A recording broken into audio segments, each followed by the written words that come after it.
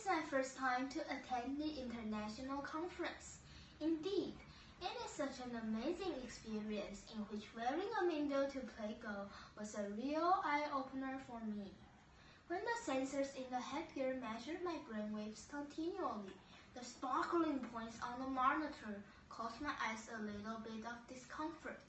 But this didn't dampen my interest in this biometric gadget and enthusiasm for playing Go using brainwaves. This sophisticated technology can be used in a variety of fields.